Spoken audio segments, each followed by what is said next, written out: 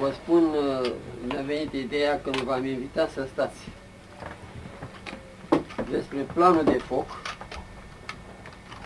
care de fapt se folosește în armată, dar noi îl folosim și în lumea luptei duhovnicești. Planul de foc cuprinde câteva elemente, așa din punct de vedere, așa practic strategic, foarte importante.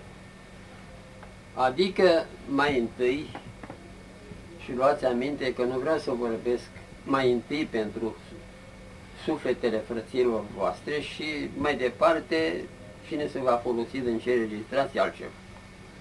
Determinarea precis a poziției tale.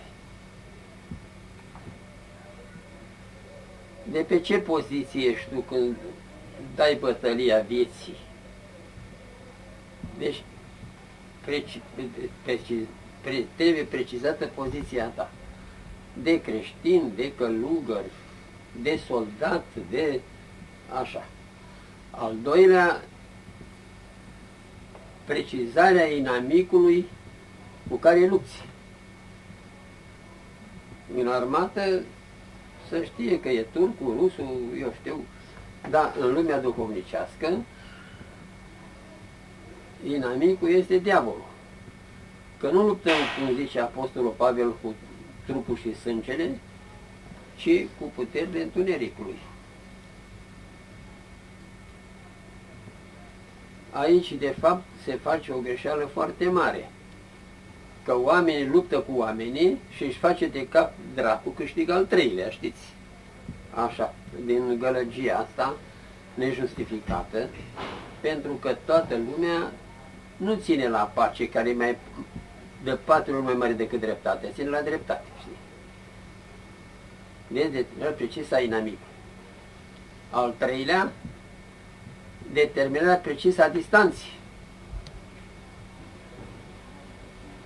La armată e nevoie să se știe ca să pună înălțătorul la, să bată la distanța unde e precizat obiectivul de atins.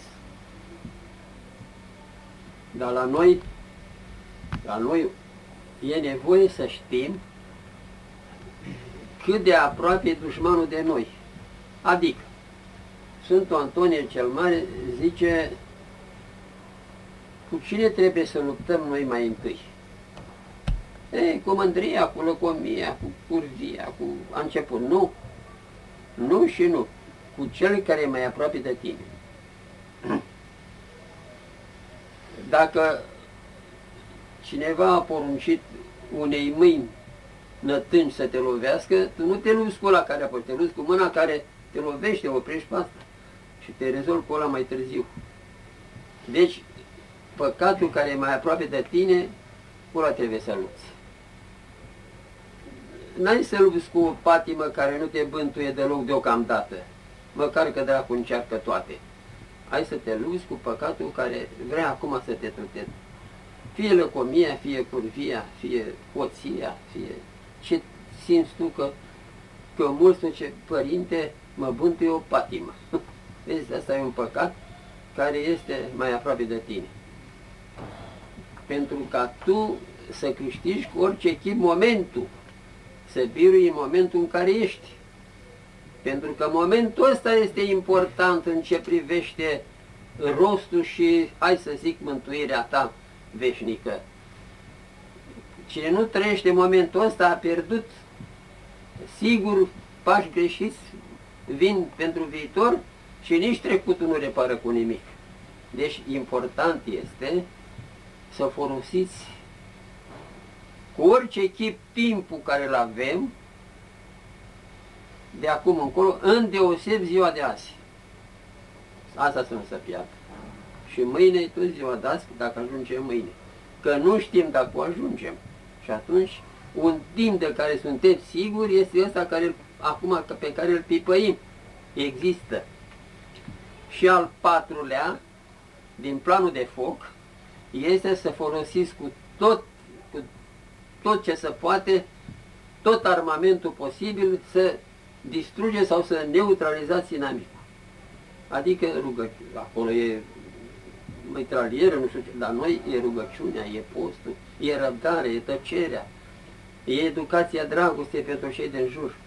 Ia că v-am spus care e planul de foc duhovnicesc. Acum aștept întrebări. S-a înregistrat asta. Da. Da? Da. Sfinția voastră, ce este rugăciunea? Mai tare. Ce este rugăciunea? Da.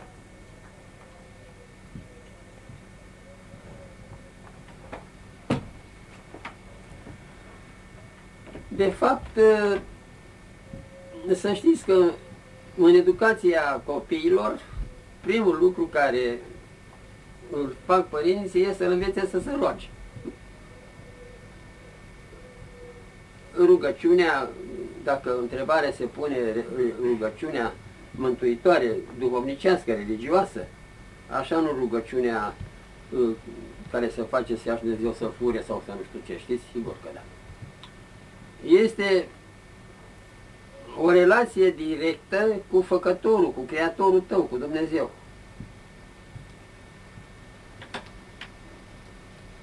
Dacă această rugăciune nu există, ești pur și simplu un bulgăre care nu ai niciun fel de față, care de fapt nu stai decât în piedici, mai ales dacă ești pe drum, trecerea. Și sigur că ori te sfarmă cineva, dacă nu te înjură, sau te sfarmă, se facă loc. Deci rugăciunea este viața fiecărui fiin, fiecărui creație al Dumnezeu. Toată creația lui Dumnezeu are o relație cu Creatorul ei. Uite, ca să mă înțelegeți și să priviți lucrurile serios, eu sunt crescut la țară, sunt macedonian după bunicul și pe așa, și am întrebat pe mama, mă mică, zic, uite oaie, oile când se culcă, dă cu piciorul așa. Ce se roagă, mamă, ce se roagă. Eu am constatat lucrul ăsta că toate când ai de să culcă, dădea cu piciorul așa. Se roagă mamă. N-a fost pentru mine un răspuns oarecare, știți? Mai ales acum când ajung să vorbesc despre rugăciune, care absolut prezența existenței noastre ca ființe duomnicești recuperate, recâștigate de Dumnezeu. Este viața pur și simplu a noastră de acum și de totdeauna. Când zic totdeauna, se înțelege pe toată veșnicia. Relația noastră cu Dumnezeu direct, că nu facem intervenții uneori prin sfinți, dar și acolo e o rugăciune care și la rândul lor așa ne aud și ne spun la Dumnezeu. Da, acum referindu-ne la ce fel de rugăciune trebuie să facem, la sistem de canoane, de nu știu ce, uite ce constat eu sau ce am eu de zis. Zice un părinte așa, cine se roagă numai când se roagă, acela nu se roagă. Adică, pentru că asta este o rugăciune de tipic, care de fapt se face la un anumit timp al zilei, fie noapte, fie... Vedeți, asta ar putea să fie o rugăciune care are bătaie scurtă. Deci trebuiește o rugăciune cu înălțătorul cu bătaia cea mai lungă. Să ajungă la stăpânirea stăpânirilor. Și această viață de, adică o stare în care să se țină legătura cu Creatorul tău permanent, nu numai atunci când te rogi. Că dacă te rogi numai atunci, Doamne, am zis, dă Și că am zis. pentru că ai zis că ți s-a spus să zici, s-a obișnuit lumea, fac rugăciune de dimineață, de seară, lasă că și asta îmi spunea cineva că și-a făcut rugăciunea de dimineață seara, că n-a putut dimineața să-și facă. Vă dați seama cât a ținut la tipic, tipic și la inimă nimic, știți. Trebuie o stare de permanență, dragii mei. Ce ai făcut, mamă, o să întrebe mama pe copilul ei. Pe unde ai fost? Nu pot să-i explice câte a văzut și dar zice o vorbă care o pătrunde până la lacrimi. Numai la tine m-am gândit, mă, mico, zice, când am fost pe acolo, măcar că erau multe minunății. Mămica aceea nu-i mai cere altă explicație când a asigurat, e asigurată de inima copilului că nu a pentru ea bate. Ăsta este Dumnezeu nostru, care ne pretinde cu gelozie lucrul acesta, permanența, asta o viață de rugăciune permanentă. Nu mă refer la paraclise și acatiste, mă refer la a te gândi la Dumnezeu în felul tău. Doamne, Doamne, mi s-au oferit rugăciuni grozave, care că e cel mai mult cum cer pe pământ, rugăciunea inimii, a minții, sau care are cu puterea cuvântului nemaipomenită. Doamne Iisuse Hristos, membrește-o nepăcătosul. Vă dați seama ce cuprinde în aceste câteva cuvinte? Cuprinde în toată Dumnezeirea misiunea Dumnezeirii care a fost o, așa dinainte hotărât sau care s-a făcut pentru mântuirea noastră prin pogorârea lui Dumnezeu în trup omenesc, nu ca să distrugă neamul omenesc prin această nemaipomenită întrupare, ci ca să-l transfigureze pe om. Va să zică, dați seama cât suntem de înzestrați, cât suntem deci de bogați și cât suntem de datori. Deci avem, avem obligația cu orice chip să te gândești la mine. Am spus de mai multe ori, cu scuza pentru toată lumea care aude încă o dată ce spun, dar nu mă interesează. Mă interesează aceea să ziceți. S-a căsătorit doi inși, Ioana și Ion.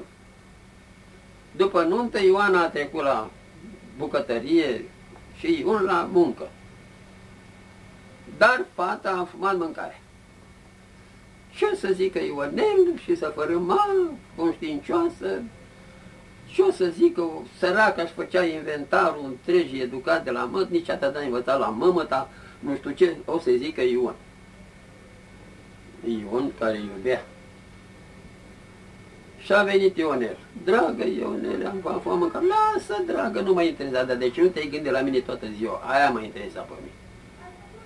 Adică, vedeți, Creatorul Dumnezeu ne-a creat dintr-un dincolo de închipuire iubire. Și atunci nu putem, nu ne gândim și noi la El, El ne-a înzestrat, voi dați-vă seama. Ne vedem unul pe altul din darul lui Dumnezeu. Pătrundem tainele unul altuia și chiar tainele sufletelor noastre de la Dumnezeu. Deosebirea între creația lui Dumnezeu, omul care este stăpânul făpturii creației lui Dumnezeu, mai ales omenești, cu libertatea de a te ridica până la Dumnezeu, ceea ce nu pot să o facă îngerii. Îngerii sunt creații dincolo de asemenea de închipuire omenească, cum spune într-un loc.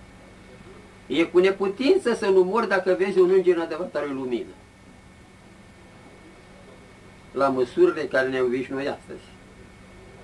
Deci, omul, dar acești îngeri, arhangeli, scaune, domnii, începătorii, așa, toate puterile cerești, nu se pot ridica mai mult decât sunt creați. Ceea ce face om. S-a ridicat, se ridică până la Dumnezeu. Și a zis un Sfânt Părinte, mare trăitor, când ne ridicăm până la El, ești mare ca El. Și când nu ne ridicăm, vine El la tine, e mic ca tine. El, Dumnezeu. Deci, e vorba de o rugăciune de efect, adică o permanență care este cuvântul care îl spui, nu știu ce, asta e chestie de tipic de învățătură, de nu știu ce, tatăl nostru, rugăciuni, dar cum nu se pot spune pentru că viața are cutele, aspectele ei care te rețin, se rețin mintea, dar dacă zici numai Doamne, Doamne, Doamne, Doamne, Doamne, Doamne, da, vezi, adică într-un fel oarecare trebuie să fii cu recunoștință sau trebuie să fii prezent. De asta am spus că orice clipă poate să fie un timp și orice suspinare poate să fie o rugăciune. E mult mai mult decât unul care a zis nu știu câte metanii făcute, nu știu ce, dar mecanic. Dar unul care suspină. Da, are nevoie de adâncurile noastre Dumnezeu. Nu de suprafața mișcării noastre, care o obișnuim să o facem, așa, ferice de cel care se roagă mult și la Antonie cel Mare, la Macarie cel Mare, sau la Macarie cel Mic, nu mă întreb, dar o, e vorba de o trăire permanentă la tot ce spune. Deci rugăciunea este o necesitate așa cum este aerul și lumina și apa și toate elementele care întreține viața fiziologică. Dar e vorba de viața sufletului pentru că omul există om și suflet și sufletul e omul, nu trupul e om. Trupul e om măgăruș care poartă pe el. E, era o vorbă când era mici, duce măgarul și nu știe ce duce, știi? și zic acum, de că suntem pretențioși, o, omule, de ți-ai cunoaște valoarea ta? Întrebare. Sfinția voastră, cum trebuie încercată practicarea rugăciunii lui Isus? Cum? cum trebuie încercată practicarea rugăciunii lui Isus de către creștini? Bine, întrebarea e pusă cum, cum să ne pregătim pentru asta, că dragă rugăciunea inimii este obligatorie, dar privită în, în anumite aspecte. Mai întâi trebuie să zici, lasă la o parte tehnică și asta, zi, domn. Una. Al doilea, foarte, foarte, foarte, foarte, foarte tainic. Nu am zis să, să, să speculezi, zis o să are greșeală care eu, aproape toți oamenii o fac. Când cer și ei ceva, așa am zis, Doamne, ca o găină a făcut un om și știe toată o grada, la țipetei pot o da, că a făcut și a unul. Rugăciunea inimii este o rugăciune tainică și permanentă în ce privește cum trebuie să o zici, rămâne să, să surprindă fiecare pe sine, dacă poate să o zică în inimă, în ce poziție ea, a încercat, fiind un lucru foarte important, Sfinți Părinți să zică în inimă și au reușit în anumite poziții trupești. Pe mine însă mă interesează la vârsta mea și la vârsta tuturor, adică mai mică, să zicem. Zici cu mintea. Dar nu cu tulburare, cu agitație. Asta e o mare greșeală. Cu foarte mult calm. Dacă ai zis tu am să zic mereu și la un moment dat ai uitat, nu trebuie să în în, să te agiți când ai zis, tot cu calm și pe de acolo mai departe. Ca și cum n-a fost nicio întrerupere. Vedeți că nu există la Dumnezeu condiții. E supărat, e nesupărat, nu, Dumnezeu e permanent, așa cum iubitor și te înțelege pe tine foarte mult. Ca o mămică, când trece copilul camera la o vârstă 8-9 luni, e fericită, dar când se înclină într-o parte de lipsă de echilibru, ea e fericită că, uite, mititelul și mai mult începe să, să se apropie de el. Deci Dumnezeu, copii fiind, ne înțelege în unele absențe, dar aceste lucruri nu înseamnă o absență spre păcat, de o absență că te-a furat unele probleme importante, zici tu, pentru viața de toate zilele. Deci o rugăciune a inimii trebuie permanent să zică tainic și calm. Eu vă spun că mai mult nu am de spus. S-au făcut tratate întregi, zbornicul și o serie întreagă de volume groase despre rugăciunea inimii. Dar concluzia este ca să zici în felul tău. Există posibilități de la natură, de la Dumnezeu create unul sau un altul, mai mari sau mai mici. Oricine am fi, avem obligația să fim prezenți. Rugăciunea inimii ne este pusă la dispoziție și a spus un lucru de mare importanță, un mare sfânt, e cel mai mare lucru în cer și pe pământ, rugăciunea inimii. Deci nu poți să te plângi când am carte de rugăciuni, că n-am timp de rugăciune. Unde ești? Nu poți să zici tot. Trimite gândul tău la Dumnezeu. De fapt, relația între Dumnezeu și îngerii de sus este gânditoare.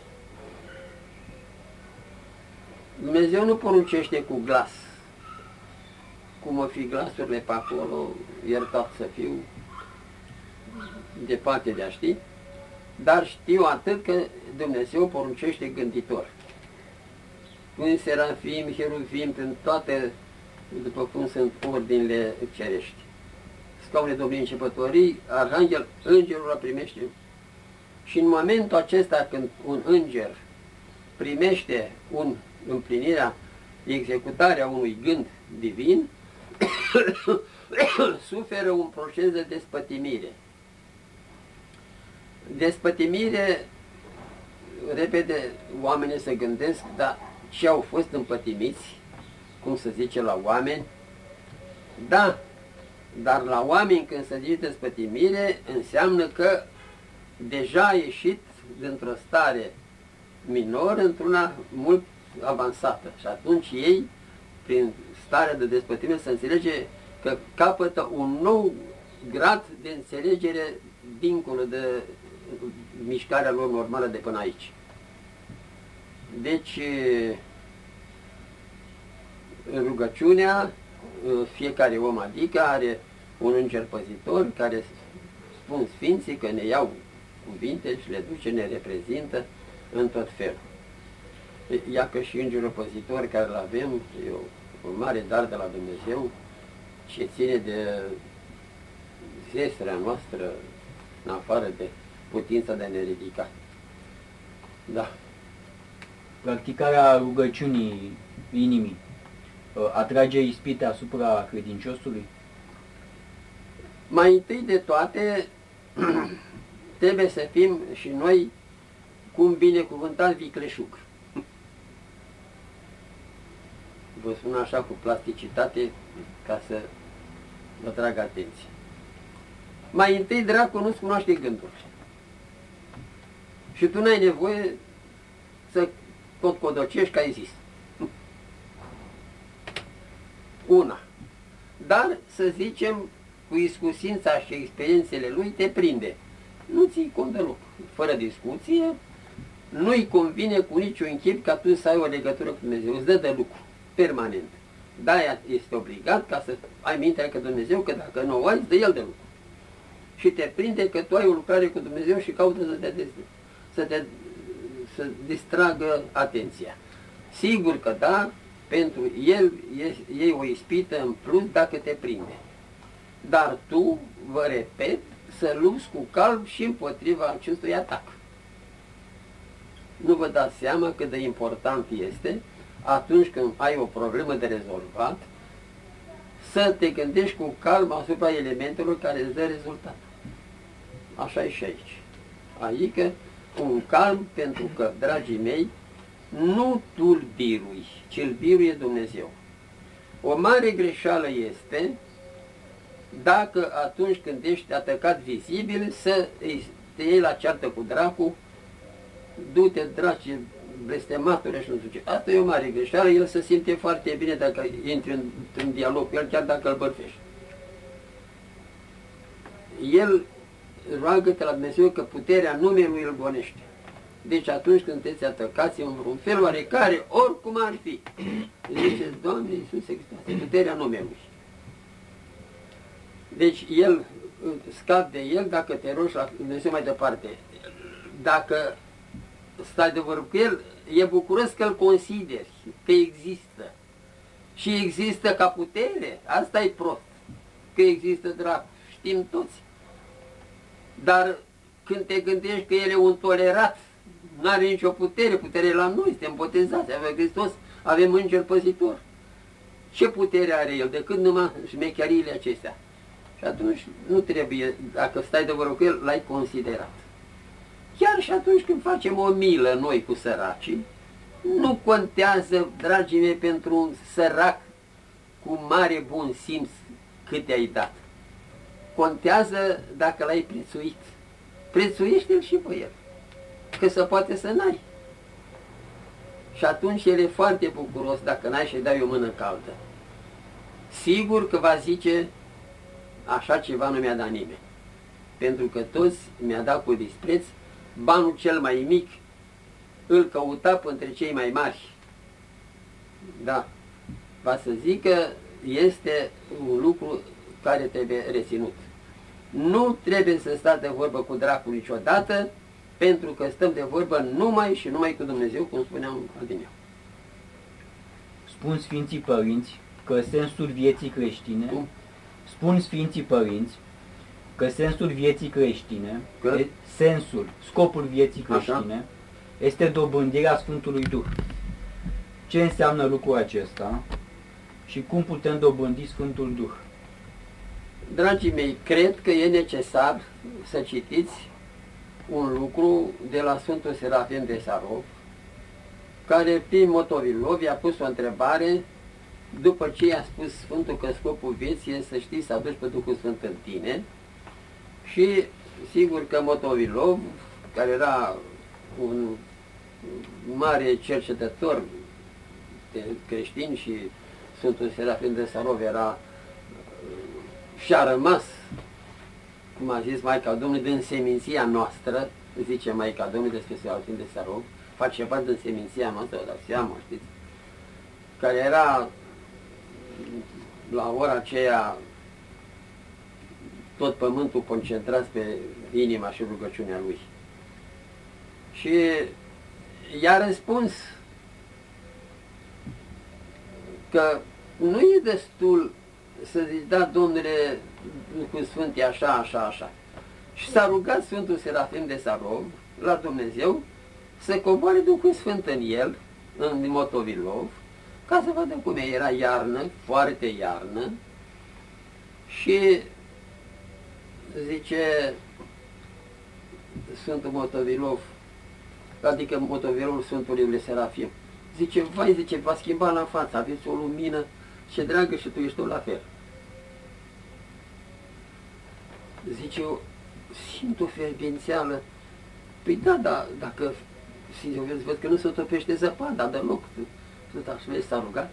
E, ăsta e Duhul Sfânt, care vine nu poți să spui a venit Duhul Sfânt. Noi, dacă vreți să aveți acest mare dar de la Dumnezeu, vă spun, dragii mei, și ăsta este aproape lucru cel mai important în lupta duhovnicească, să știi să te smerești cu adevărat. Eu i-am spus o smerită smerenie, știi?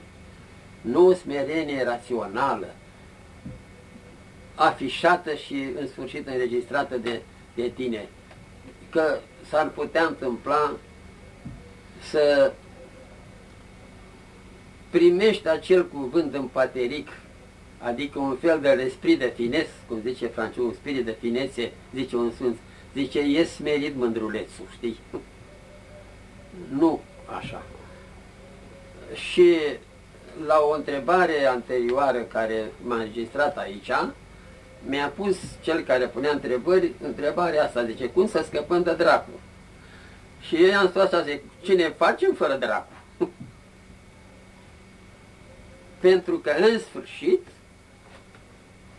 plecăm așa logic de la întrebarea. Dumnezeu s-a întrupat și a luat puterea de diavolului. Dar totuși noi simțim că există. De ce nu i-a luat-o toată? I-a luat coarne, i-a luat tot. I-a lăsat, cum spun Sfinții Părinți, numai vârful cozii. Întruchipat de obicei de mintea omenească. Ca El ne arată cine suntem. Și ne pune într-o smerenie când a face păcat autentică. Deci dracul lucrează indirect la mântuirea omului. Marea înțelepciune divină.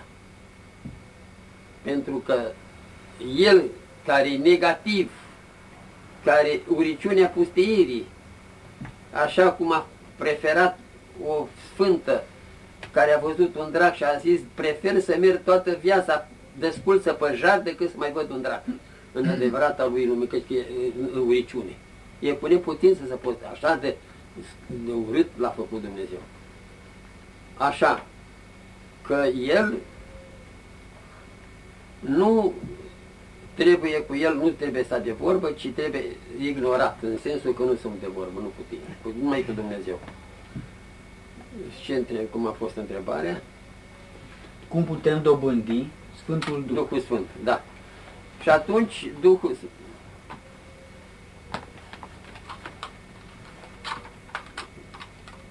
Vedeți că uneori te obligă viața să stai pe loc, de cine te oprea ca tu să fii prezent?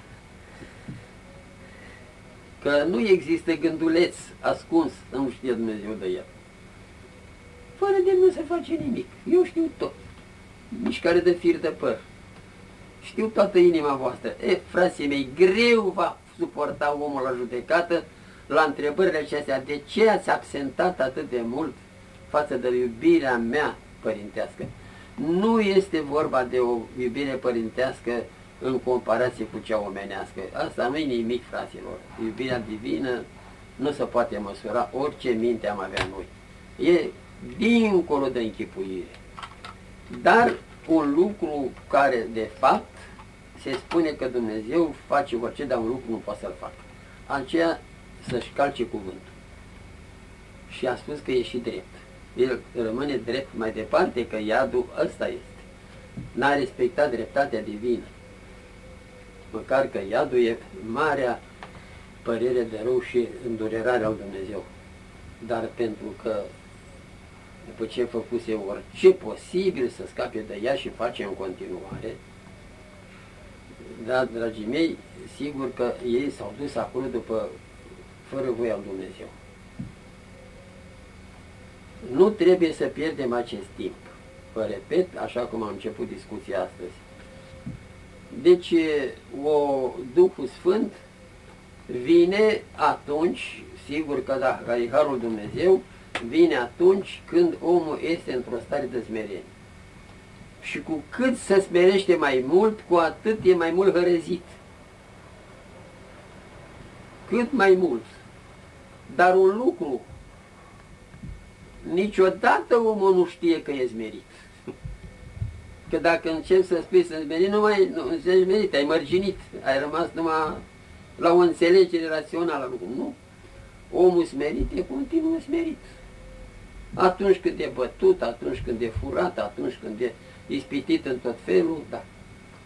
Și dacă vreți și e nevoie să vreți și e nevoie să știți mai întâi, să biruiți este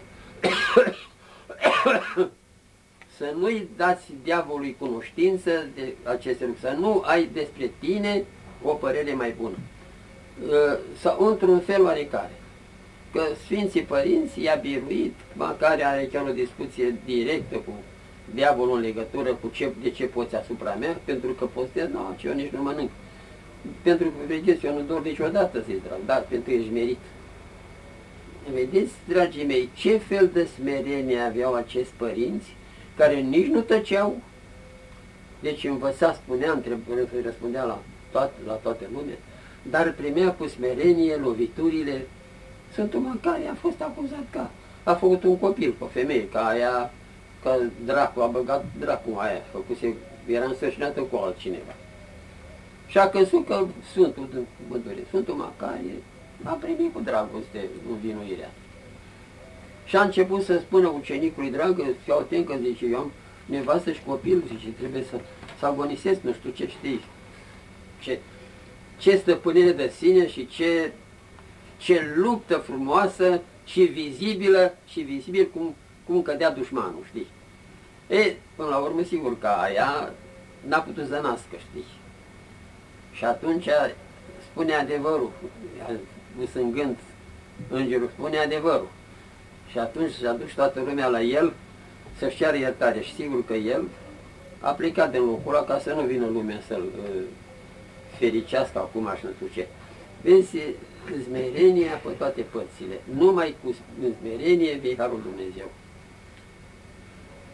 Da, foarte, foarte important este lucrul acesta. Vedeți, foarte greu uh, cunoști, că nu, nu e nevoie să cunoști gradul de smerenie care îl ai. Dar dacă suporți cu drag învinuirile, vorbele de rău altora, asta e. Dragii mei, vorba o s-a dus în vânt, tu ești tot tu. Degeaba te suflete.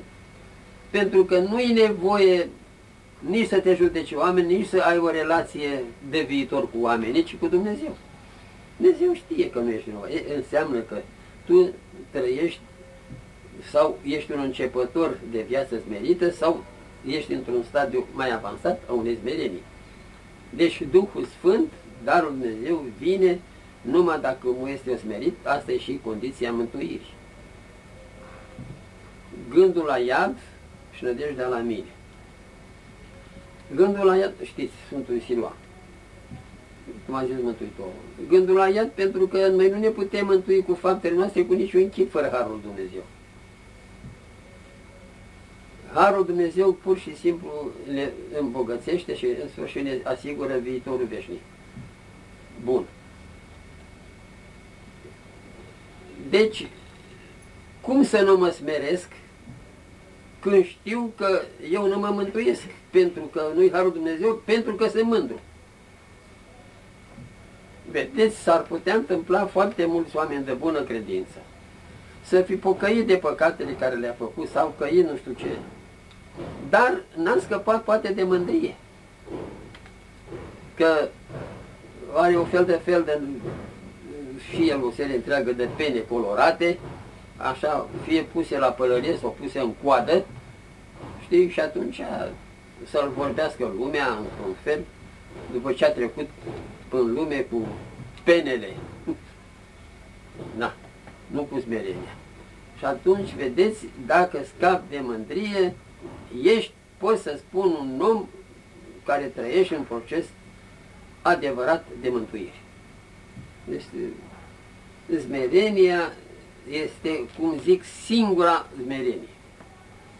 Eram în Grecia și la o mănăstire de maici și acolo mi-au dat atenție că mă chema Arsenie, că avea și un părinte Arsenie care îl declarase sfânt și eram chiar în fața bisericii cu hramul Arsenie, făcută chiar de părintele acela care a fost în care era de maici. Și eu i-am dat unei maici o fotografie cum în bisericuța noastră de aici, care e cu totul plăcută până alte părți unde arhitecturi studiate, nu știu ce. Acest stil de verticalitate așa. Și a, călugărița aia m-a rugat nu știam nici o grecește, nici a românești, dar aveam traslat. Să-i scriu ceva. Și i-am scris așa, singur smerenia. Și i-a tradus, a căzut în genunchi imediat. Deci cât, cât erau de, de doritoare de smerenie. Nu și smerenia, singur smerenia dacă o ai. Că dacă ai smerenia, nu ești hus, nu ești curvar, nu ești mincinos, nu ești...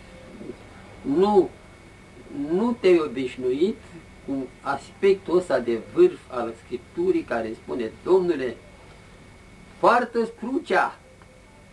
Ce înseamnă? Să duci ce nu-ți convine, cu drag, nu silit.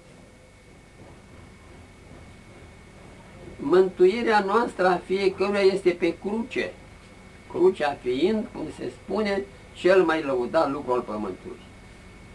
Deci tu atunci ca să porți crucea cu drag, ești, înseamnă că sunt simptomele unei autentice smereni. Deci e Duhul Sfânt în tine. Mântuitorul spune, iubiți pe vrăjmașii voștri. Cum să facem? Cum putem ierta din inimă pe cineva care ne-a făcut un rău și care ne face în continuare? Dragă, uite ce este, ce vă spune dintr-un început. Aceasta nu e o recomandare sau un sfat, e o poruncă. Ați auzit că se spune, faci porunci. Sigur că nu s-a apucat nimeni chiar să ia în serios cuvântul ăsta. Știe din literatură că există. Să iubești pe vrășmași. Dar să nu creadă cineva că Mântuitorul a vorbit grăbit când a spus lucrul acesta. E poruncă, repetată în Scriptură. Acum, pentru că suntem oameni și uite, toți suntem oameni, făcuți de aceeași mamă cu aceleași posibilități. Cum să facem așa mai strategic? Pentru că e poruncă și nu scăpăm de ea. Întrebarea asta ne va tăia fără discuție dintr-un început. Criteriul de mântuire și de judecată este iubirea. De ce n-a iubit? Și nu va fi numai faptul că n-a iubit, dar de ce ai urât? Deci te încadrăm la crimă, că tu ai urât, ai dușmănit, vorbindu de rău. Ți-a zis, i-ai zis și ai să zici. Știi? Nu te lași. Deci, uite cum vă sfătuiesc eu. Domnule, dacă este poruncă, măcar rațional, și fără discuție afectiv, încet, încet, să încerci să iubești, Domnule, pe vrășmaș. E, sigur că nu se poate că dracu să ține de tine să postura asta, că te are la mână. Orice ai face tu, dacă n-ai iubire, n-ai dragoste, ce apostolul Pavel, ai muta munți, ai creștinat neamurile, dacă n-ai dragoste, nu ești nimic. Aramă sunătoare, chemval răsunător. Auzi, Domnule, să muți munții, să faci, dacă n-ai dragoste, nu ești nimic. Deci, dragii mei, Ă, încercând să iubești pe vrășmași, n-ai să poți să formarea ta duhovnicească de până acum pe aici pe corea compromisă, dar încearcă, încearcă să iubești pe vrășmași. N-ai să poți la nivelul zilei, nici poate la nivelul vieții, dar tu insisti să iubești și te găsești, cel puțin că nu-l urăști în lupta ta care o dai. Dar tu dacă te găsești pe drum și cum știm că te ajută Harul Dumnezeu pentru că ești pe drumul cel bun, te ajută Harul cu orice chip. Și tu ai să mori luptând împotriva urii, pentru ca să iubești pe vrăjmași, te ajută Harul și te-ai salvat.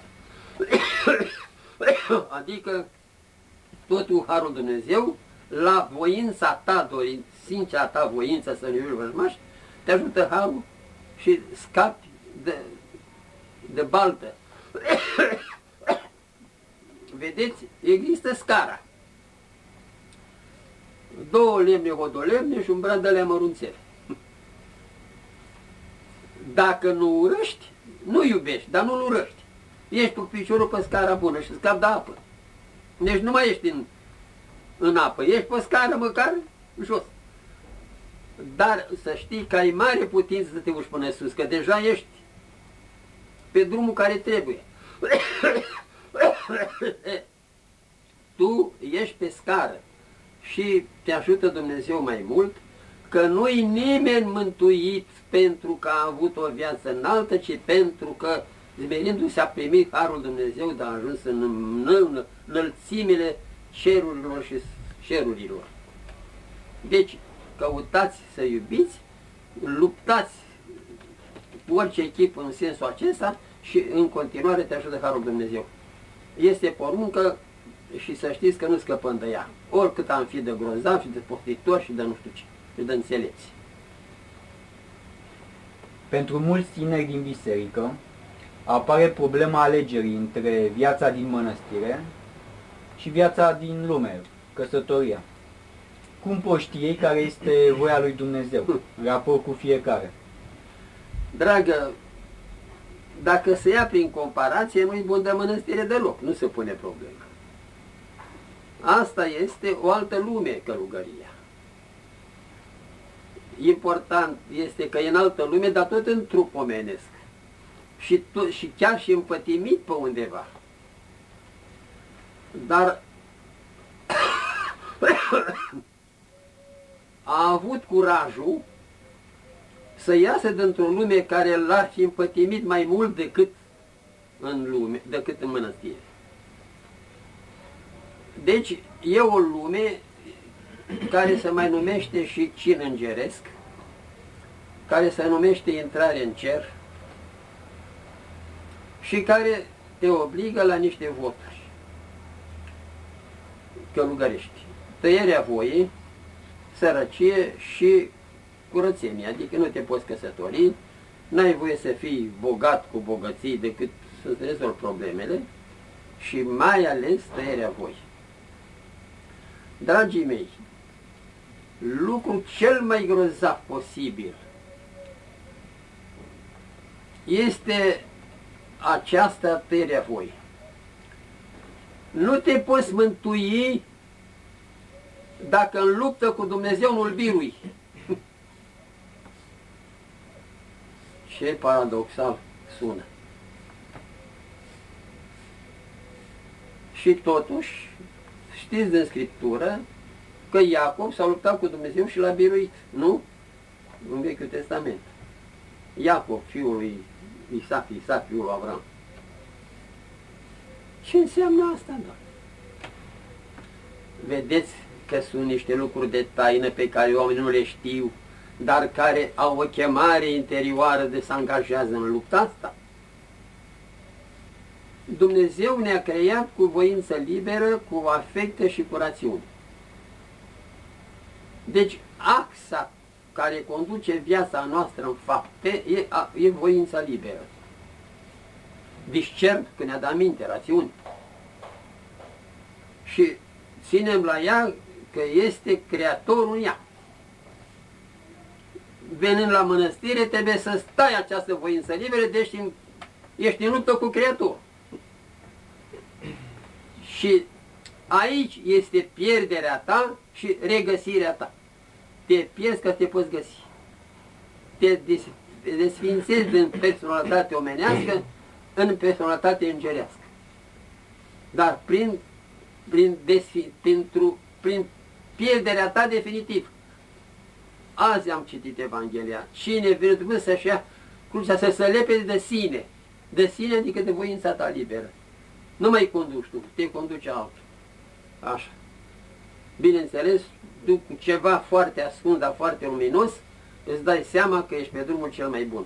Deci tăierea voii care nu se poate face în lume cu niciun chip, decât într-o lume unde nu te mai interesează cu niciun chip plăceri, nu te mai interesează nume bun, nu te mai interesează nimic. Adică este acea nebunie pentru Hristos. Dacă nu ai această nebunie pentru Hristos, nebunie pentru Hristos înseamnă ca tu să nu te mai intereseze nimic, domnule, ești nebun pentru ceva. Sunt nebunit după tine, Doamne. Nu vă mai spun că o tânără care era învățată în urma unei cuvântări a mele păscări aici, văzând maicile pe aici, a zis, părinte, care e prima condiție să fii călugări? Să zic să fii nebun. Dintr-o dată și eu, știi? Am urmărit-o să văd dacă a înțeles. A înțeles. Deci această renunțare la tine înseamnă lupta ta cu Dumnezeu care te-a creat bine, dar pentru mântuirea ta la nivelul care ești. Ce să fac, Doamne, să mă mântuiesc, a zis tânărul bogat? Păi să respect poruncile, nu știi. Și le-a spus, a, pe și asta le țineam. A, vrei mai mult? Vrei să fii desăvârșit? leapă de sine, lasă tot și urmează mie, adică depărtarea de voința proprie. Eu povestind lucrul acesta silnic aproape la tineri și tineri care vin la mănăstire, o fată săracă care era absolventa unei facultăți, îmi dă un pomel și scrie așa, mă rog Dumnezeu să nebunesc pentru el. A, mi-a plăcut forma asta, îi siu pomelicot toată viața, știi? Mă rog, Doamne zice, să nebunesc pentru tine, să nebunesc pentru Hristos. Deci, nu se poate face comparație cu viața din lume. Viața din lume e binecuvântată, este așa cum este, însă viața de mănăstire este o viață de cer, de înger al pământului și e puțin lucru. Este vorba de plecare cu orice chip la partea cea mai de vârf a Scripturii, desăvârșirea noastră, care înseamnă lepădarea de sine, lepădarea de voința proprie. Deci ești în luptă cu cel care ți-a făcut voința liberă. V-am explicat ce înseamnă să te cu Dumnezeu, ca să nu credeți cumva că părutăm voi erezie, Doamne ferește. Dar în lume față de cine trebuie să ne tăiem voia? Cum, cum? În lume, față de cine trebuie să ne tăiem voia? Deci nu la mănăstire. Păi nu, acolo nu e tăierea voia, acolo, acolo să-ți iei voia bine în lume. Ei, să respecti nevasta, să-ți dai seama că nevasta asta nu e o, o, o persoană cu care să-ți faci plăcerile și să faci ce vrei. Femeia asta care e un element atât de discutat în lume și în Scriptură și peste toate timpurile înainte de Hristos, nu este oricine. Mii de ani a fost roabă și totuși s-a făcut războaie pentru ea, pentru roaba asta. Dar ea a răbdat cu orice chip lucru acesta, pentru că marile valori, istoria, vremile, nu i-a recunoscut aceste valori până la Hristos. Hristos a ridicat gârbova care era plecată la verticalitate, adică un semn material de libertate a femeii. Și nu există scriptură de bărbat și scriptură despre femeie, o scriptură pentru toți. Deci femeie înseamnă împărăteasă dăruitoare. Un bărbat adevărat este acel care știe să o pună pătron. Ea nu știe lucrul ăsta. S-a transmis atavic, dacă cunoașteți cuvântul. Trimiterea peste generația defectelor sau a calităților, asta înseamnă atavic. S-a transmis atavic mai departe că ea încă se teme. Și la bărbat, la fel, simte care puterea asupra ei. Asta e o greșeală. Ceva ascuns în ea așteaptă ca el, cu orice chip, să o recunoască la egalitate. De aceea nu mi-a fost cununie să nu spun întotdeauna cu tine, una cu altul, întotdeauna unul ca altul.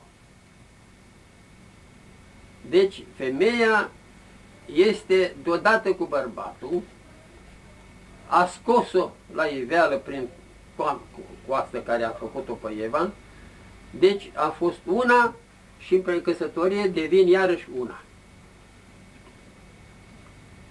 Așa că dorința foarte mare de a recunoaște puterea care o are femeia stimulând bărbatul spre mântuire e necunoscută. Deci scopul unei căsătorii nu este plăcerea. Plăcerea e o consecință. Nu mănânc pentru că e dulce mâncarea, pentru ca să mă hrănesc. Că e și dulce, e un avantaj, dar scopul nu e ăsta. Să mănânc că e gustos. Așa și plăcerile. Sunt consecințe. Nici chiar nașterea de copii nu e un scop. E o consecință obligatorie. Ci stimularea reciprocă pentru mântuire unul cu altul. Și aceasta este zestrea cea mai bună care se lasă ca educație la copii. Cu orice echip să primim lucru serios. Da. Așa, dragii mei, ă, trebuie să știe acel care se căsătorește, care are o foarte mare răspundere și nu trebuie să vă influențeze anumite cuvinte care sunt spuse până rugăciuni și femeia să asculte de bărbat dar cu o condiție, să o iubească. Și dacă o iubește, nu face, nu se bucură decât de adevăr iubire. Mireasa, care e un moment unic în viața ei, când să citesc cuvintele acestea, eu constatam că, făcând cu unii, toată lumea s-a uitat la mireasă și femeia să se teamă de bărbat. Și mireasa pleca capul în momentele supreme când ea era chiar regină cu coroana pe cap. Atunci stăteam și eu până la urmă și luam lumea în primire și încurajam mireasa. O condiție, să o iubească. A o iubi permanent și adevărat, iar nu e ușor. Da. Deci nu trebuie văzut în ea decât marele scop împlinit alături de ea. Da. Ajungi la atâta intimitate, păstrată cu atâta pudoare în viață, dar nu te descoperi, dar nu te dezgoli. Aici totul e dezgolit, totul e dăruit și tu încerci să ai autoritate de bărbat turbat, știi, asupra ei. De, eu v-aș ruga numai atât să faceți și să știți că vă mântuiți. Sfinția voastră. Și m-a m-a provocat chiar cineva de la Ascor. El este. Da, dar zicea el, da, cap, bărbatul e capul nevestii. Așa este, dar e inima. Capul, dacă n-ai inimă, poți să te dau jos de pe obiect. Este, dragii mei, s-a întâmplat atât de multe lucruri, adică atâtea, atâtea căderi și femeia a fost pricina căderilor de multe ori. Ia că ce zic. Care e rea, nimic mai rău. Care e bună, nimic mai bun. Asta e. Dacă e vorba așa. Deci ea rămâne mai departe pe tron și așteaptă să să-i descopere valorile bărbatul. Încerca să trăiți fără ele, fără femei. Nu în sens numai de plăceri trupești. De acea inspirație, știi, care o lume întreabă cunoștea, tu nu mai cunoscut. Pe lângă geamul și stătea trecut de des, o lume întreagă nu înțelegea, tu nu mai înțeles. Făcea apel la inima lui Veronica, pe lângă copii fără de soț. Adesea în trecut mă cunoște o lume întreagă, tu nu mai cunoscut. Adică făcea apel la acest mare poet de inima ei. Alo? Da. Da. de 10 ori, de 22 ori pe zi, mă, e în spital. Nu se mai poate săracul. Să-i trimit un preot, să mă duc eu acolo, să telefonez lui Marius, uh, Marius, nu? Da, mă, mă Așa, Ce mă zic, noi stăm să venim pe spitale, suntem ocupați, uite aici, și eu și Marius și nu știu ce. Să duc un preot acolo că moare. Mă spun de, Doamne, ia de pe fața pământului că acum e un moment că mare cel puțin fără răspundere, știi? Asta e la măsa cu toporul, cu nu știu ce, mi-a dat măsa un telefon, cu nu știu chiar cine la telefon.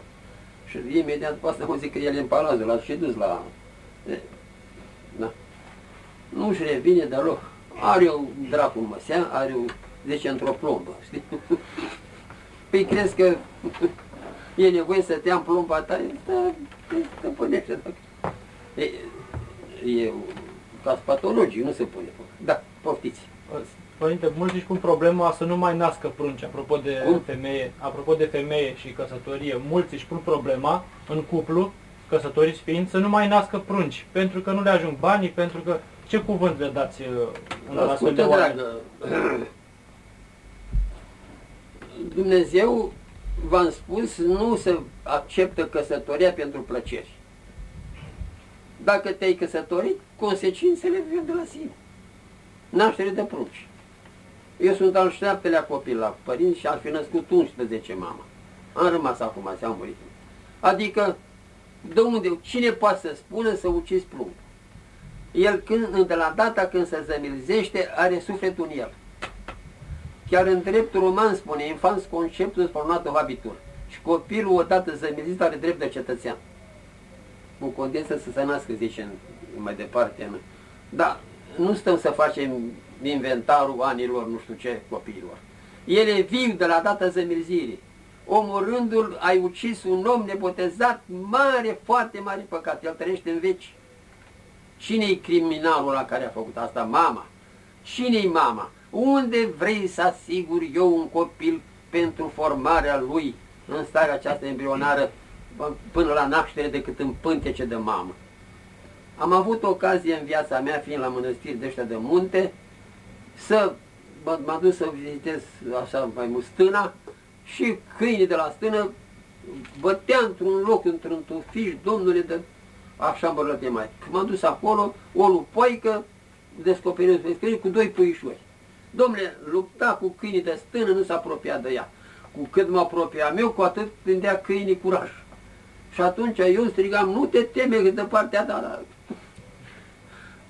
Cine mă auzea decât Dumnezeu? În sfârșit, ea dacă a văzut că mă apropie, a luat un pui în gură și a fugit și unul l-a lăsat mai departe. Și am zis, uite cum își apără puii. Mai mult vă spun, s-a făcut o constatare că lupoi și dacă găsesc copii de om în lume, în pădure, până îi lăptează. Nu e o legendă cu lupaica cu pui. Îi lăptează, auzi, un animal fieros, dușmănos al omului, îi, uite, îi crește pui și mama îl omoară. Nu e voie. Dacă naște 20, să fie 20. De ce se pune problema că poate să trăiască un milion de oameni în plus la Dumnezeu prin avorturile care să fac? Are Dumnezeu grijă. Dacă te-ai însurat, asta este. Nu-i permis nici să ferești femeia să nu prindă copil, că asta e fraudă conjugală și mai bine zis atentată împotriva planului Dumnezeu. O să zic că nu te-ai însurat, mergi normal, cu orice chip. Asta este consecința. Dar nici asta să nu spuneți, mi-e frică de atâția copii și mă duc la mănăstire, că nu ești bun de mănăstire, ești un înfrânt la mănăstire să pleacă dacă ai fost un erou din coace, atunci da, un biruitor, că acolo te duci la o altă luptă de alt, alt stadiu, altă factură, mult mai necunoscută de, de tine și te poate doborâ satana. Dacă tu te-ai dus pentru că ai avut dificultăți sau nu știu ce de împlinire din lume. Deci te-ai căsătorit, e taină foarte mare, nu se poate mai mare, pentru că și niște bucurii de imprimare sufletească într-unul și altul, nu așa, legătura trupească e un lucru neînsemnat pe lângă bucurii de relație sufletească între soț și soție. A fi una fiind doi e puțin lucru și e, e una cu adevărat. Da. Nici nu există grad de rudenie între băiat și între soț și soție. Primul grad de rudenie între părinte și fiu.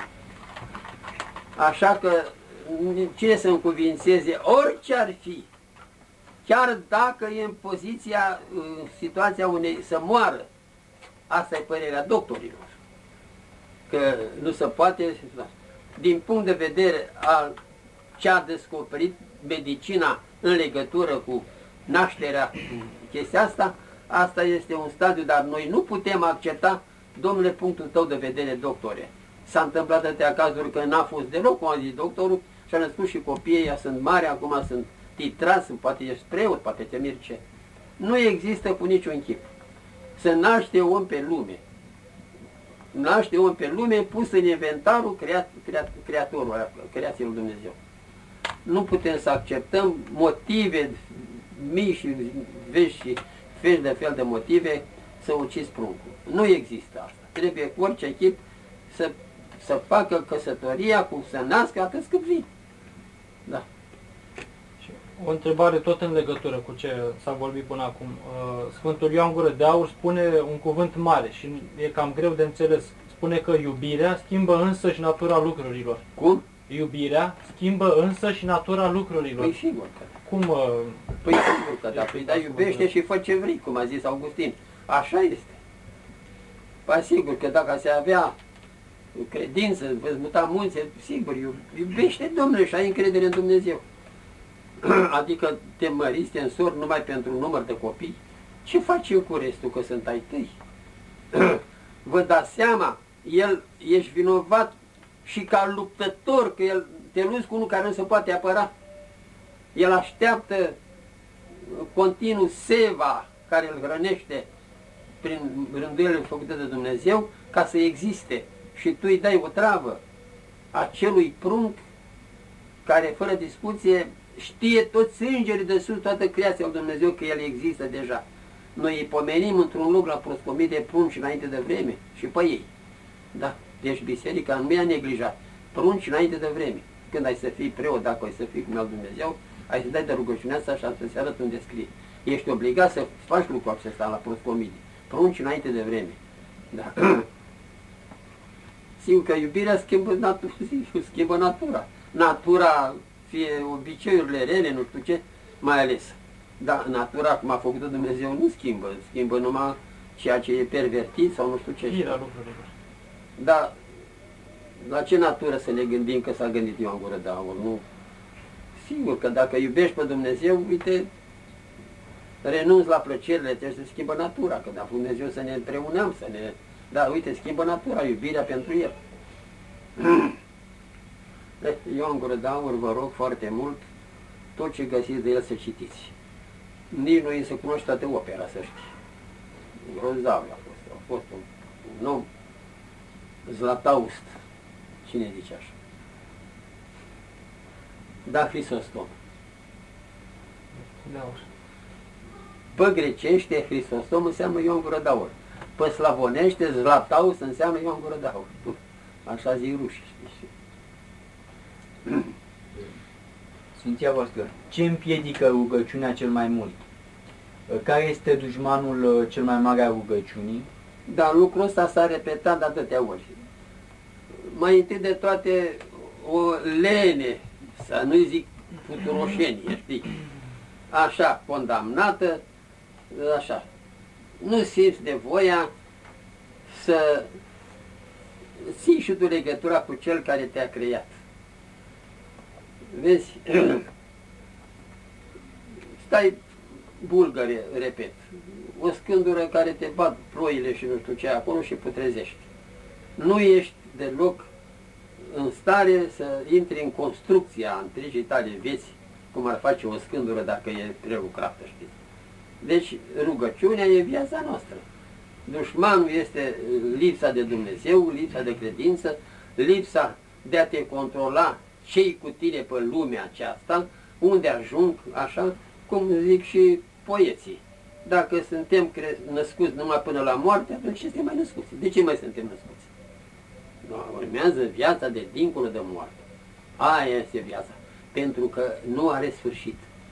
E adevărat că între, între timp și veșnicie numai un pas, dar teribil. Ăsta este. Acum, formarea noastră. mulți tineri din biserică, mulți tineri uh, nu sunt înțeleși de părinții lor relativ la relația cu biserica. Uh, chiar unii nu îi lasă să și le dau sfaturi uh, potrivnice. Cum se poate împăca, se pot împăca părincile bisericii cu ascultarea Dragă, de uite părinți? ce este. Dumnezeu Mântuitor a fost cu multă prudență atent să spună și lucrul ăsta. N-am venit să aduc pașa pe pământ și am venit să aduc sabie. Ceartă între fică și mamă, între noră și soacră, între tată și fiu. Pentru că copilul naște, să vine acum învățătura creștină și îi pătrunde sfătul și pleacă și sunt împotrivă părinții. Eu, la o mănăstire cum sunt de mic, am văzut lucrul acesta că vin părinții să-i scoată de mănăstire, mai ales pe fetițe, pe așa mai tinere. E o fetiță acum care a terminat o facultate de engleză, nu știu ce.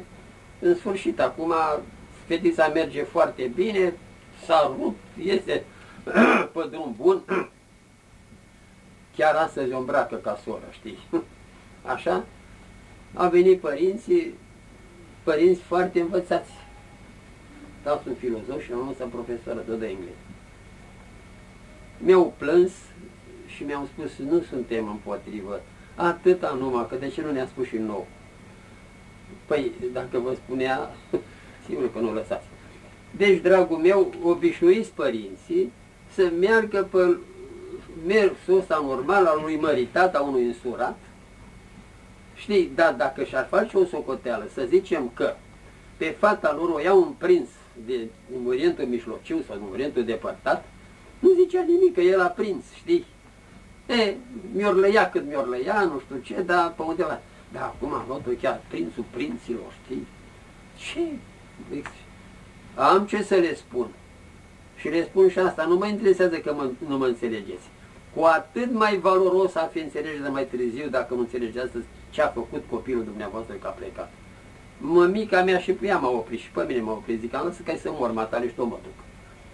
Către care trebuie să vină toți, zice și Sfântul Ioan Gură Daur, că și el a avut un dialog în sensul ăsta cu mama lui. Ce vrei să mă lași a doua oară văduvă, știi? Da. Sigur că da, e o învățătură nouă, grozavă, dar unde această învățătură, învățătura asta nu era destul că era, spune așa, dar învia morții și, domnule, ia uite, vindeca uscăciunile, mâini uscate, scotea dracii. Și viața învățătura asta nu, nu înțelegeau. Chiar părinții celui care i-a dat vedere ori de naștere s-au mirat. Era un lucru nenormal să vadă fiul lor.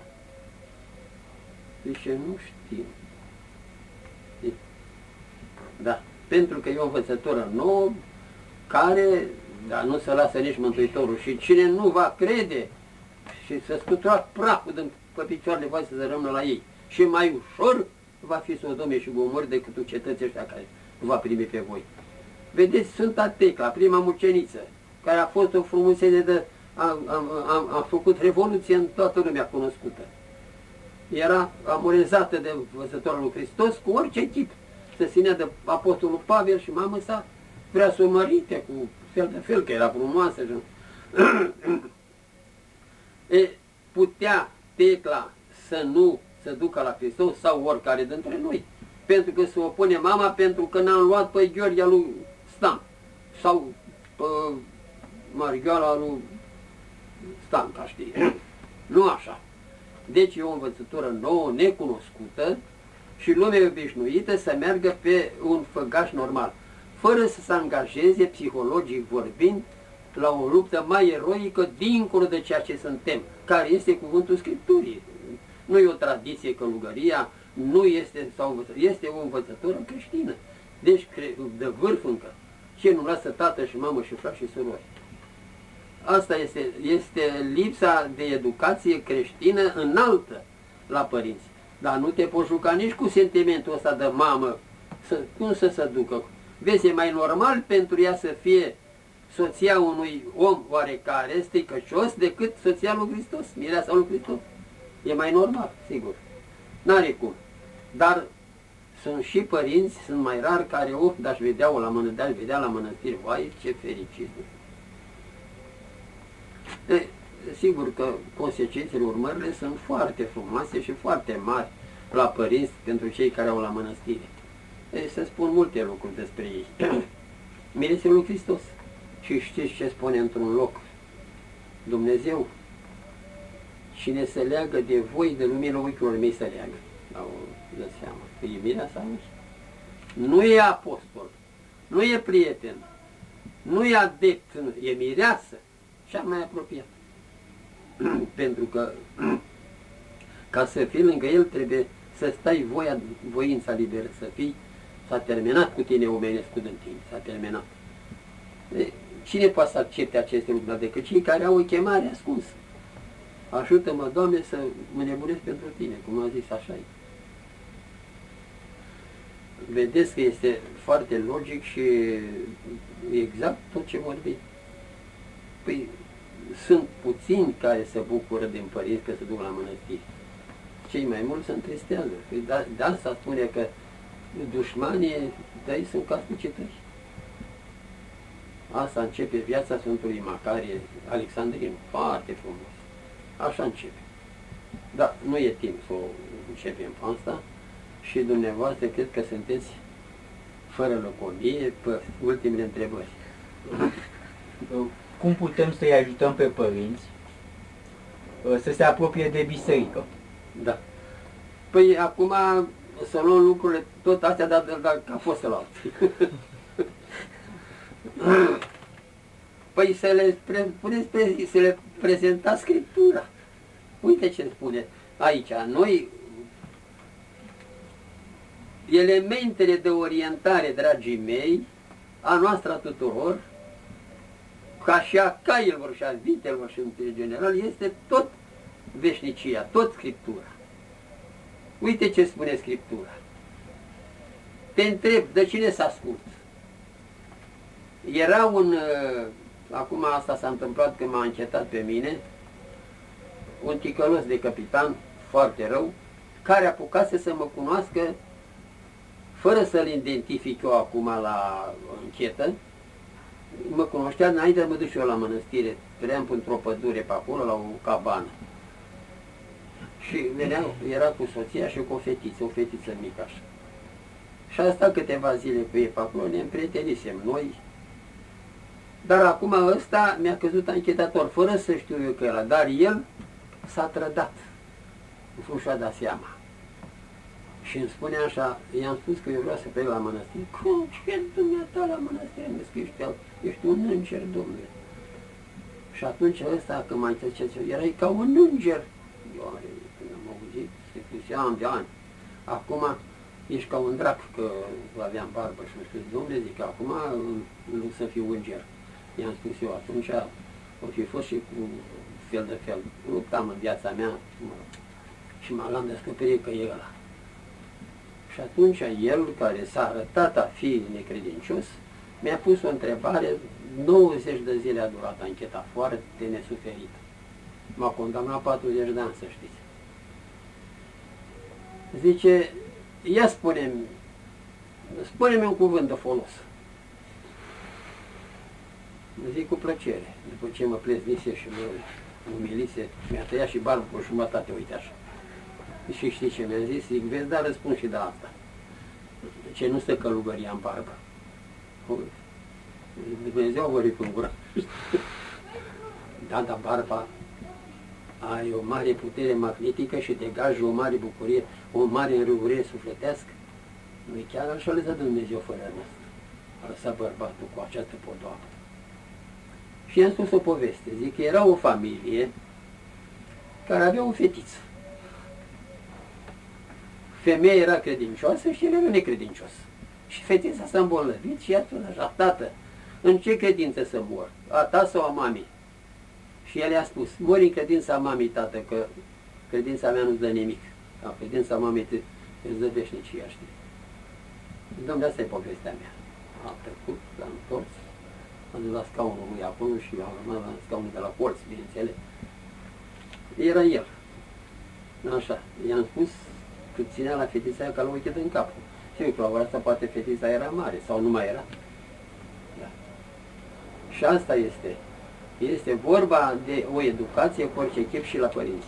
Să zic că uite ce spune Scriptura și Scriptura e, este ceea ce de fapt e orientarea noastră a tuturor, absolut a tuturor științelor, teoriilor, parateoriilor, filozofiilor și nu ce. Scriptura rămâne.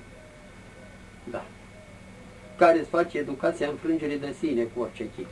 Să renunțăm cu orice chip la, la, la, la ce s-a agățat de bietul om cu patim și cu o serie de, de desinfectare cu orice chip, lupta cu orice să te scuturi. Îi place lui Dumnezeu și te ajută, dar începe, nu sta nepăsător.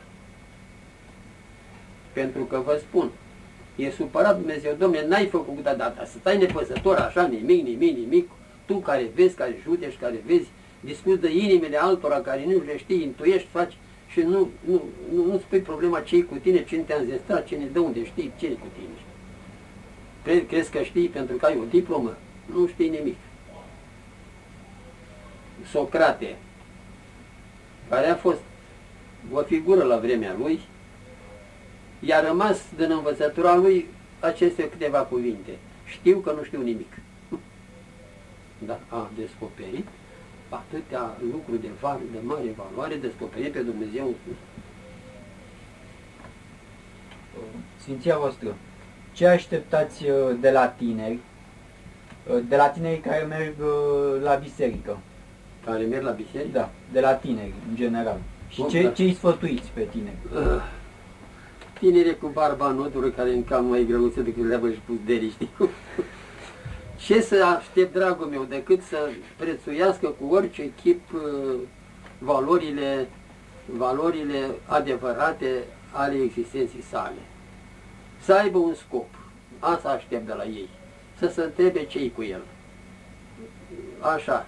Cine m-a făcut și de ce m-a făcut? Cine m-a făcut atât de prodicios, atât de sentimental? Pentru că spunea cineva mare, foarte mare pe care l-am crezut, suntem și sentimentali. Aceste sentimente nu le-a dat natura până învârtirea unor litere și ne-a dat numele de om cu atâtea calități. Vezi să se întrebe, trebuie să fie neapărat un mare meșter care ne-a făcut așa de grozav. Să știm să ne stăpânim pe sine, așa, vedeți chiar acest meșter și la animale le-a dat o reținere de sine, le-a dat soroace, nu le-a dat libertatea să facă ce vrea și le-a dat numai și lor soroace. Că zice că așa nu-și cunoaște, ești la săpânul și omul nu și-o cunoaște. Așa.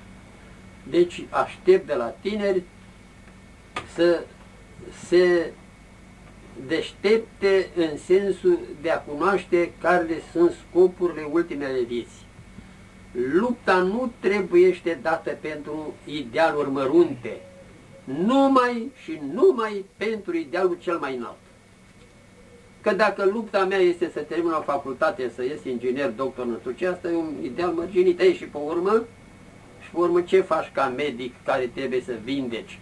Trebuie să știi să pătrunzi în bonlav, să-l pui pe bonlav, să participe și el la vindecarea lui printr-o credință, printr-o nădejde și nu știu ce. Pa să zică cine să-i dea lucrez decât învățătura creștină. Așa că trebuie să te angajezi, orice profesie avea, oriunde ai fi pe ce poziție mirean sau călugăr, să slujești la idealul cel mai înalt. Dacă e călugăr, e de la sine înțeles că altceva n-are de făcut. Slujirea la idealurile cele mai înalte, asta vreau să fie de la tineri. Uh, Sfinția voastră, ați fost... Da, da, poftim, îmi venea o idee, dar nu e nimic. Nu, nu, nu, nu, nu, nu, că să repeta niște lucruri și nu, da. Ați fost... Păi, sunt multe de spus, dacă... Da. Ați fost uh, în pustie cu Părintele Cleopa. Da. Uh, ce program de rugăciune aveați? Cum decurgea uh, ziua cotidiană? Dragă, uite ce răspunsă e ăsta, niciun program, totul era mereu. Vă rugați să mai fac program? Eu v-am spus și acum, voi oriunde ați fi să fiți prezenți, nu era niciun program. Totul e să fie mereu prezent. De aceea eu chiar am avut o discuție foarte aprinsă cu el, care a durat zile întregi, așa că nu stăteam împreună. Ne întâlneam seara în bordei, stăteam în pădure separați, mai stăteam și împreună așa. Că erau ploaie, erau viscole, erau astea și trebuia să stai de postit. El era, i-am spus că el era înclinat mai mult spre o nevoință,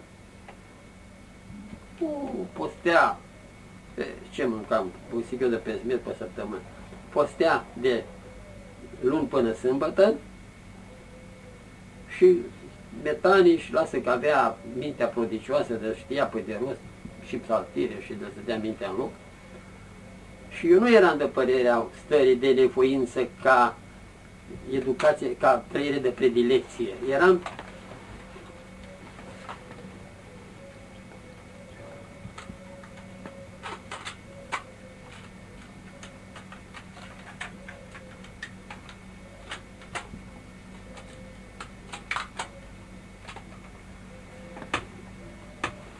eram pe poziția de prezență continuă, de trezie, de trezie continuă. Și asta este programul de fapt. Să ai o stare continuă de prezență și asta e rugăciune. Asta adică acolo, mai mult acolo se potrivea cuvintele acestea, o rugăciune adâncă înseamnă o tăcere adâncă. Nu există program de rugăciune. Rugăciunea și vouă, acum vă spun, trebuie să fie permanent. Mergi în tren, mergi în autobuz, mergi să... Mai trebuie să ridic, Doamne, Doamne, și Doamne, iartă, Doamne, și Doamne. Arată-te că ești cu Dumnezeu cu orice chip. Lasă că s-a întâmplat și atâtea minuni, dar nu asta să așteptăm să facă minune cu noi, să răstoarne autobuzul, să mor tot și eu să trăiesc. Nu asta este semnul că ți-a auzit Dumnezeu rugăciunea. Dar una sigur suntem că ți-a auzit-o. Și una știm, Dumnezeu nu minte, te te-a înregistrat. Da. Uh, Zice, zice. Vă rugați împreună, aveați... Uh... Am, nu. Asta nu, nu se poate și eu personal nici nu prea sunt în, pentru ca să se facă rugăciunea cum e în familie, soț și soție, nu știu ce, sau, să, sau în chilii la călugări, fiecare să-și citească a lui. Nu se putea face lucrul ăsta pentru că fiecare stadiul lui de viață, rugăciune care a rămas. Ei, așa că mai auzeai, oh, doamne, doamne, ceva așa, dar nu, nu se putea face. Dar asta nu este o întrebare de folos, ci o întrebare de curiozitate, știți?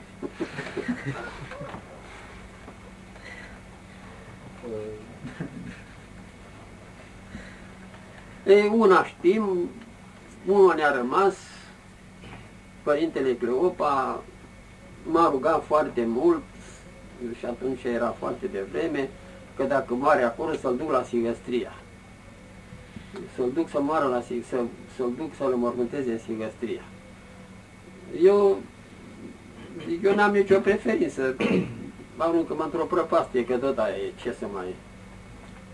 Cine să-l ducă? Acum l-am ascultat, aseară am deschis aparatul și Domnule, a vorbit la lume interminabil, știi, vreau să spun acum, să ducea lume și pulmea că era și de în Constanța, știi? A scăpat unul, vorbe, suntem constanțeni. Da. Și iată că era de folos. El a insistat foarte mult pentru că în pustie ai nevoie de duhovnic, știți? Și dacă eu eram duhovnic și el era duhovnic, da seama, ne ajutam unul cu altul. Și el vrea să pun una pe un duhovnic să dispărăm. Nu, eu n-am fost de părere. Am fost de părere să fim în lume. Și uite, acum, atâția ani, Teopa a creat o epocă, înțelegeți, este de mare folos. Și mama lui avea tot așa mintea prudicioasă, ținea minte tot. Vă povedem când era sora Maria, adică mama lui, și acum s-a terminat cu monarhia Agapia, s-a călugărit. Sunt cinci din familie care sunt la mănăstire și toți cu viață înaltă. Da, am un cult pentru Părintele Cleopa, n-a glumit săracul. Acum, să știți că în viață, și atunci când ești prea aproape de cineva, simte, mă, de ce ai făcut așa? Mă, de ce ai făcut mișcarea pe dreapta? Știi, sunt cinste din ăștia care te lovește așa de ele, care nu strică relația sau deranjează așa. Asta mai era. Se întâmplă și în familie, știi? Păi și eu așa am crezut că e bine, știi? Vine soțul să-i ceară socoteală ce ai făcut cu banii, nu știu ce și nu știu ce. Păi, dacă e înțelegere și nu trebuie să-și facă de cap cu banii pentru că e o sursă interminabilă de la soț. Nu. Trebuie să ai sfat. Să discuți chestia asta și cu celălalt, nu știu ce. Acum, nici nu poți să lași omul mor de foame pentru că nu să fie soțul de părere, știi? Sfaldează omul ăla acolo. Că iubirea schimbă, schimbă natura. Vă rugăm în încheiere, Cum? în încheiere, un cuvânt despre ascultare mai ales pentru cei care sunt în lume, de exemplu. Da, oriunde. Dragii mei, ăsta este primul semn ca să nu mâncați de pomul oprit. Deci ascultați ce am spus în legătură cu poziția care o ai, ori în lume, ori în lume. A asculta înseamnă a ști să te smerești și a, ascultarea aduce trăinicie unității. Adică există o căpetenie care e de la Dumnezeu. Așa. Vrei cu orice chip să ajungi Dumnezeu? Ascultă de cel care a rânduit Dumnezeu să asculți. Mare greșeală este să treci peste cel care e rânduit să fie mai mare ca tine.